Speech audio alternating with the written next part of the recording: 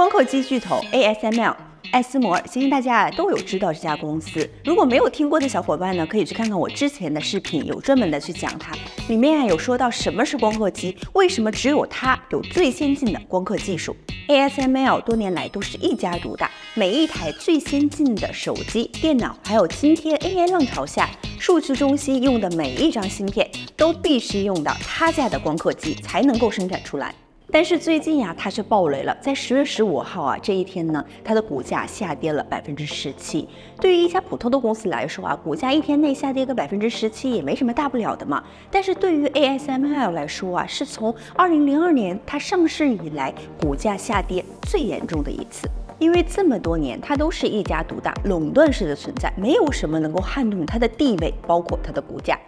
欢迎来到 M C F，我是 M。今天啊，我们就来说一说高端光刻机市场半导体的巨头 ASML 为什么会爆雷，下跌了这么多呢？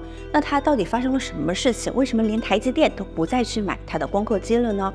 那它到底还能不能够翻身，再一次拿回它的霸主地位呢？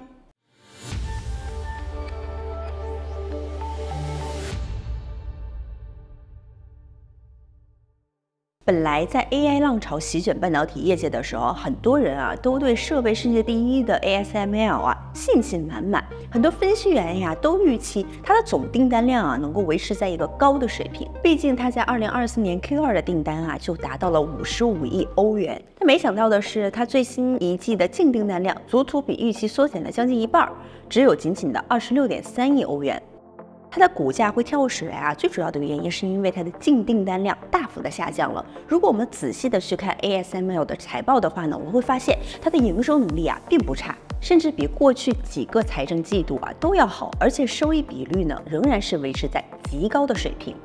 那最近投资人们啊对它有点失去信心了，是不是有点多余了呢？哎，其实并不是这样的呀，担心呢还是要有的。这里啊，我们就要好好的去说一说 ASML 的独特运营模式。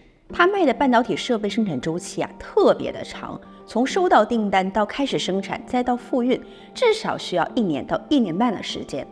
这里啊还没有算上 waiting list 的时间哦，不是说你付了钱下了订单马上就去给你生产的。ASML 的它的产能啊是有限的，而且啊它的技术呢几乎是垄断的。不仅科技界依赖它，芯片生产商啊也非常依赖它。那你说它的产能能跟上吗？所以不管是他们家最先进的 EUV 极紫外光刻机，还是给成熟制程用的深紫外光刻机 DUV 呀，你都要，等，等，等。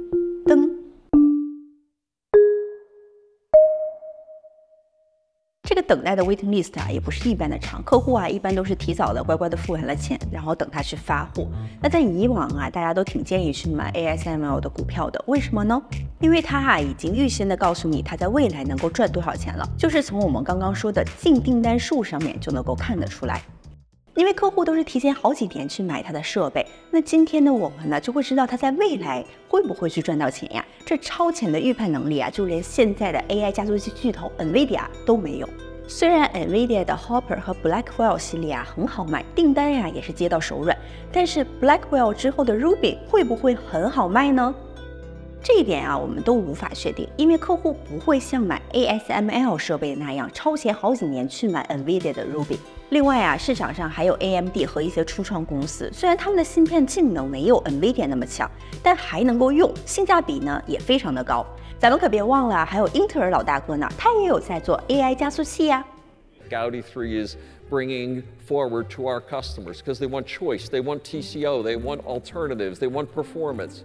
And Gaudi 3 and our partner ecosystem is delivering exactly that. 所以啊，就算是 AI 算力甚至生态都接近满分的 NVIDIA，它还是有竞争对手的。但是咱们的 ASML 啊，非常的厉害，它是没有竞争对手的。尤其是在五纳米制程以下，它可以说是无敌的状态。勉强算是够格一点的两位对手啊，都是来自日本的，就是我们熟悉的佳能和尼康，他们都在做光刻机，但啊，都还没能够造出大规模生产最先进制程的光刻设备。虽然佳能在搞纳米压印技术，理论上啊是能够生产两纳米芯片的，但是啊这也只是在理论上，目前呀最多也只能生产五纳米制程而已，所以在技术上跟 EUV 啊还差好几条街的距离。放眼整个业界，能够跟 ASML 一样，在技术上啊大幅的领先同行，然后产能上呢也一直爆满的，只有台积电啦。做赞呢，做赞呢，这喝价。所以大家现在明白净订单对于 ASML 的意义有多么重大了吧？所以它现在的净订单减少啊，就相当于直截了当的告诉你了，在未来 ASML 的产能啊未必能够继续爆满，营收肯定也会减少，并且啊幅度不小。好了，那原因我们知道了，首先呢，我们就来看一下它到底是哪一个部分的订单减少了吧。如果我们仔细的去看的话，会发现它全部全线业务的订单啊都减少了。那首先呢，我们就来说一说它技术水平最高的那一个部分吧。半导体的奇迹，人类科技的最高点，这两个词用在 ASML 的 HiNA EUV 光刻机身上啊，真的是一点都不过分。这台在二零二三年十二月才出货的最新一代的 ASML 旗舰光刻机，跟旧一代对比来看啊，把本来的零点三三孔径升级到了零点五五，把解析度也从十三纳米提升到了八纳米，就能够把电晶体的密度增加了二点九倍。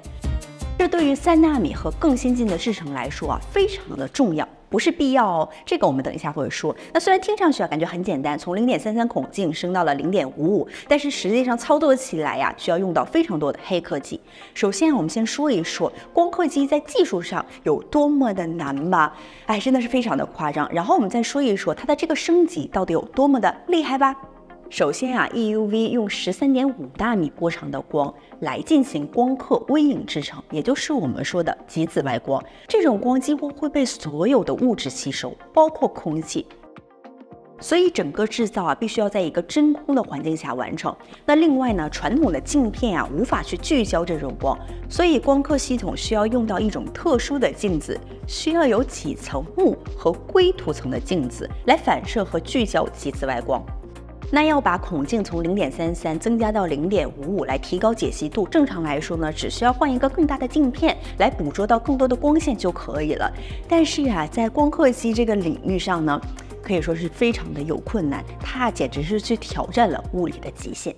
因为要用更大的镜片呀，就意味着极紫外光必须以更大的入射角度打在光罩上，但这样做啊，会让极紫外光完全失去了反射性，也就是等于它的光刻能力啊也就没有了。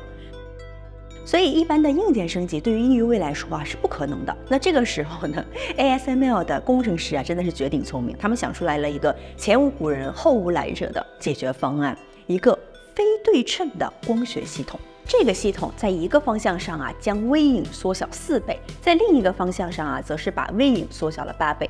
这样不均匀，却可以让光线在适当的角度去反射，同时呢，又能够达到极小微影的尺寸，来实现更高的解析度。这个系统啊，可以说是突破了光线反射的物理限制。那它呀，也不是黑科技了，而是超越黑科技的超黑科技。而我将佢里边引爆嘅时候。固体变成气体，气体膨胀产生强大嘅力量，将粒钢珠逼出嚟，威力足可断石分金。铁布衫当堂变成一件底衫。讲咩话你？不过啊，它也不是没有缺点的哦。它的缺点就是一个字，贵，非常的贵啊。这样一台 High NA EUV 光刻机，大家猜要多少钱？要三亿八千万美元呀，是不是非常的贵呀？它比普通的 EUV 光刻机啊要贵一倍以上。还有就是要买一台这样的设备，还要给它完整的配套。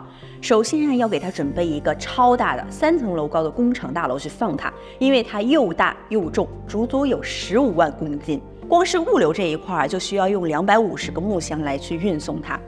那另外呢，还要搭配上两百五十位专业的工程师，花半年的时间才能够把它组装完成。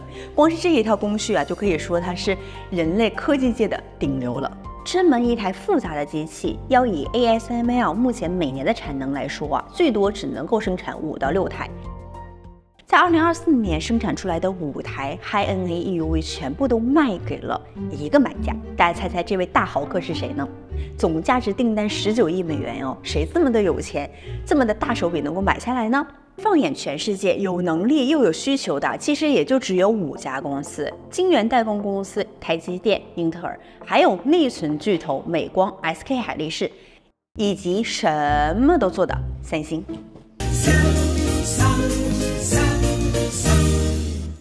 刚刚有说过啊，ASML 的光刻机都是超前预售的。那它二零二四年生产完的机器啊，算一算，大概是二零二一年前后下的订单。那在二零二一年，半导体业界发生了什么事情呢？We're going to get five nodes in four years. We're going to do something unheard of in the industry to return Intel to process technology leadership. 没错，在二零二一年啊，英特尔的 CEO 基辛格意气风发的推出了四年五个制程的这个计划。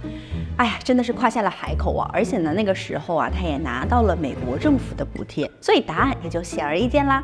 包括第一台和接下来二零二四年生产完成的五台 High NA EUV 光刻机，出手购买的都是豪客英特尔。当时的他们啊，真的不差钱儿。但是呢，几年下来了嘛，和当年的意气风发对比啊，现在的英特尔啊，深陷财务危机呀，可以说是濒死的状态了。英特尔的五个制程里面，Intel 四的产量非常的低，二十 A 更是完全砍掉了。而最后一个制程十八 A，潜在的客户博通测试了产品之后呢，完全拒绝收货。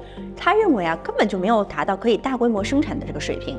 短短几年的时间啊，英特尔晶圆代工业务就已经赔了超过一百亿美元了，是不是真的很夸张啊？所以啊，在大手笔的买完了这六台 High NA EUV 光刻机之后啊，估计很长的一段时间，ASML 都收不到英特尔的订单了。至于另外的几个潜在客户，生产内存的客户，像是 SK 海力士还有三星啊，才刚刚用上普通的 EUV 光刻机来生产芯片。而美光公司啊，也还在使用 DUV，要到明年的 E 伽马制程呢，才会使用上 EUV。所以啊，内存公司虽然最近都赚了很多，因为人工智能带起了超高速内存的需求嘛，但是生产 HBM 也没有需要用上 High NA EUV 光刻机，所以啊，他们就根本不着急去换机器。至于需要生产逻辑芯片的代工厂，像是台积电呀、三星啊，还有英特尔啊，他们自然是比较需要 High NA EUV 光刻机的。因为像是手机呀、电脑这些逻辑芯片呢，都是比较需要最先进制程所带来的性能上的提升和更进一步的去降低功耗的。但话虽然是这么说，但是他的需求啊，没有说是那么的迫切，马上就得买的程度。老大哥台积电呀，早就找到了方法，用旧一代的光刻机搭配日篮子的技术来生产一点六纳米级别的芯片，成本呢会比买新的光刻机和改建厂房要划算得多。所以啊，他们也表明了，我们不需要去买 High NA EUV 光刻机哦，而且啊，他们真的是挺厉害的，就连下一个世代要推出的1.6纳米制程呢，都可以用现有的光刻机啊去造出来，而且凭着台积电这些人们的肝呢，哎呀。估计连下下世代的一点四纳米制成的芯片呢，都可以凭借现有的光刻机制造出来。不过啊，他们也下单了，买来了一台 High NA EUV 来做 R&D 用，暂时啊用来做研发。估计啊在二零二四年年底呢就会完成交付了。那现在老大哥台积电都不大手笔的去购买，那其他的人啊自然也就是在观望的状态喽。虽然啊，AI 推高了局部半导体的需求，但其他的市场像是 PC 啊、手机内存，甚至工业用的芯片需求都很比弱。大家啊都不想在目前去投很多的钱去搞一个在几年后才能够用上的技术。而目前的风口 AI 加速器并不需要用上最先进的制程来生产，因为他们着重的是并行处理能力，而不是单线程性能。其实很多 AI 的工作啊，用旧一代的制程啊就已经非常的够用了。像现在大家都很吹很捧的 NVIDIA 的 Blackwell 啊，它用的是四纳米制程，而不是最先进的三纳米制程。三纳米制程啊，要等到下一代的 Rubin 才可能会用上。等到能用上的时候啊，三纳米也不会是当刻最先进的制程了。所以 AI 的浪潮再大呀，也无法带动 ASML 星光科技的销售。除了英特尔和台积电之外啊，最近问题多多的三星呢，本来也预定了一台新的光刻机，但是啊，他们好像又不想买了，一直拖着不付钱。有传言说啊，他们想要跳过 High NA，而是等到二零三零年之后呢，直接去买 Super NA EUV 光刻机。因为反正生产内存啊也用不上，在未来的几个制程上面呢，也追不过台积电，倒不如啊把资源投资在更远的未来。画个饼，在 I 世代去搏一搏，看看能不能弯道超车呢？所以啊，ASML 现在的处境啊，可以说是心急如焚呐。本来呢，它的客户就那么几个嘛，大家都还不买账。然后呢，预计是二零二四年是有年产五台嘛，还想要在二零二八年的时候啊，把这个年产推到二十台左右。那现在啊，它的这个销售压力啊，真的是非常的大。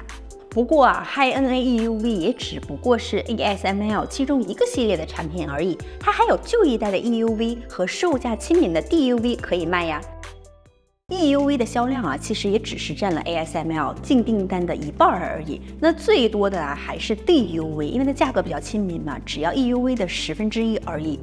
那现在 DUV 最大的买家是谁呢？自然是对芯片需求非常大又买不到 EUV 的中国啦。在二零二三年 Q 三，ASML 卖设备总营收的百分之四十六啊，通通来自中国。他也准备好啊，每年在中国安装至少五百到六百台新的 DUV 光刻机。但是这个事情啊，有非常大的暗涌，因为特朗普当选了。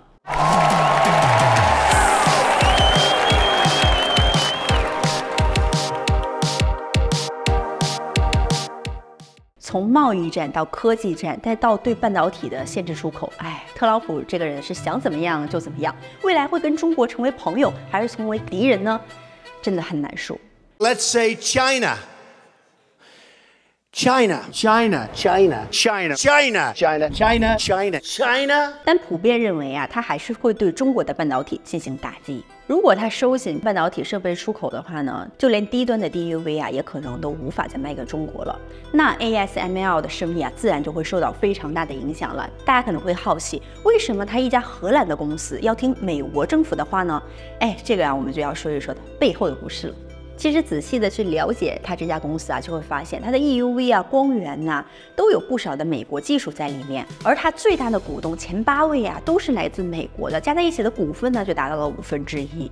而它在荷兰最大的股东呢，就是 ASML 自己，ASML Holding NV 本身啊，也只有一点五四个 percent 的股份。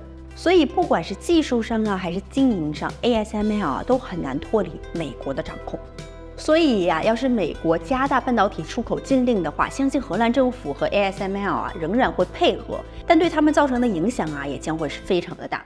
不过啊，还好的是，他们也不只是靠卖设备来赚钱的，他们还有 IBM Installed Base Management。简单来说啊，就是给已售出的机器提供售后服务，包括保养、升级系统，还有替换零件等等。这项业务啊，其实非常的赚钱，因为机器坏了，只有他们能修啊。那最新一个季度，IBM 的业务呢，给他们公司带来了十五亿欧元的收入啊，占了总营收的五分之一。最近几年呢，这个业务啊也算是稳步的发展了。随着机器越卖越多，越卖越贵啊，能收回来的钱自然是越多啦。连机器坏了维修升级都能够去做成独家生意啊，应该就只有 ASML 了。有得啫。至于很多人都很好奇啊，那到底现在是不是抄底 ASML 的好时机呢？我只能说啊，从它的股价这个反应来看啊，是能够看得出来半导体界最真实的状态的。因为 COVID-19 一下子拉高了电子产品的销售，在之后电动车啊也来了一波神助攻，紧接着 AI 浪潮又来了，大家都对芯片啊有着极大的需求，一波接一波，半导体业界啊这个订单呢也是一直接到手软的状态。所以在过去几年呀、几乎跟半导体产业相关的公司营收股价都创了新高。作为设备业界的龙头，ASML 也是一样。不管是哪一个产业突然暴涨了之后啊，它的供需呢，在时间的消化下，都会慢慢的变得合理起来。像现在电子产品卖的也没有那么火爆了，电动车的热潮呢，也慢慢的冷却下来了。AI 那一面的热潮啊，也是差不多的，没有之前那么夸张了。那客户的订单少了，ASML 啊的订单啊，自然就会变少了，这也是很合理的事情。不过啊，人类所有的科技都需要芯片去来驱动的。那在长远的未来来说，半导体界的前途呢，还是一片光明的。作为世界最大的半导体设备公司，就算在地缘政治的阴霾下，还有半导体下行周期的影响下，它的发展啊，依然会是相当不错的。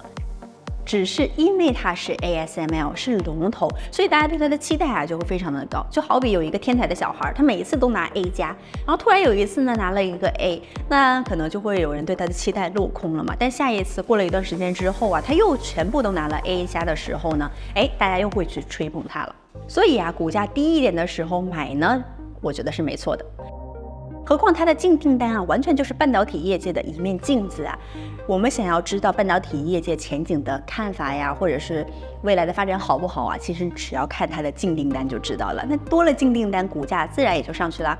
好了，那今天关于 ASML 股价暴雷的故事呢，就给大家介绍到这里了。我们下个星期三五点见吧，拜拜。